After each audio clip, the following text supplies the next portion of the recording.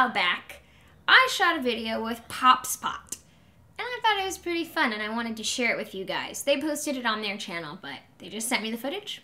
And here it is. I hope you like it. Yo, we're back at the Slow as a Mofo show. We're here at the Pop Spot studio and we have Nathan Moore. and Lana McKissack. What do you guys have planned out? I think she's gonna attempt to keep eating the Twinkie. I'm gonna slap it out of her hand and she's gonna get her vengeance with a bottle of wine. Well then let's get it on. Let's do All it. right.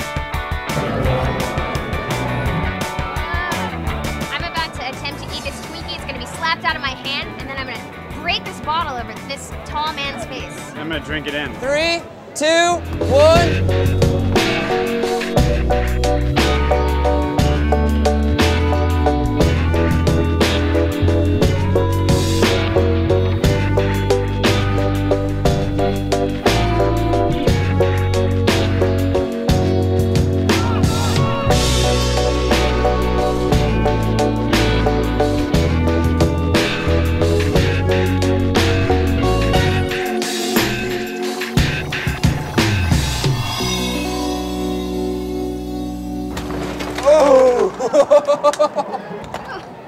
I'm flustered.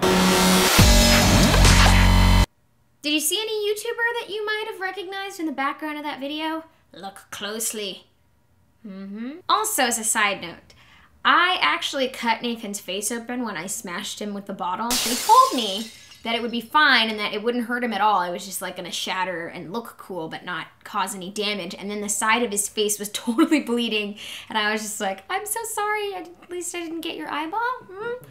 Anyway, doesn't make me dislike them any less. In fact, I like them even more because he was sassing me that day. So go to PopSpot and watch some more fun videos. Check them out. And I want to know in the comments below, what would cause you to smash someone in the face with a bottle? Would it be something they did, something they said, something they ate, someone they ate? I don't know. Let me know. I love you. Bye. Sit couch.